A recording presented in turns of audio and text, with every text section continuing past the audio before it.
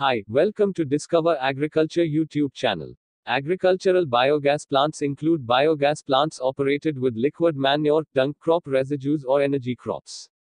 The spectrum ranges from simple biogas plants for using liquid manure to plants that are used exclusively for the digestion of energy crops. Agricultural biogas plants utilize organic materials found on farms to generate biogas, a renewable fuel source, and in turn renewable power through cogeneration or combined heat and power. The plant may be designed to accept energy crops that have been grown specifically to input into the digestion facility or agricultural wastes. These crops are typically ensilaged and stored in clamps or hoppers and are continuously fed into the digester throughout the year. In India, biogas plants may be called gobar gas plants. Energy crops and feedstocks for biogas production. Typical energy crops for biogas production can include maize, grass, wheat, rye, triticale, crassulacean acid metabolism CAM plants such as pineapples.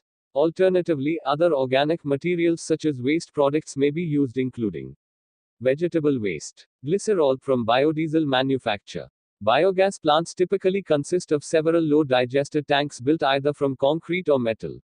They are often topped by a twin skinned gas storage bag, giving them a characteristic appearance.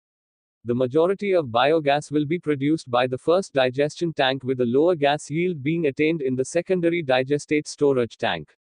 A useful approximate rule of thumb is that for 1 acre of whole crop maize will produce enough gas to generate 1 kilowatt of electrical power. That is, it takes 500 acres of whole crop maize silage to produce sufficient feedstock for a 500 kWe digester or gas engine combination.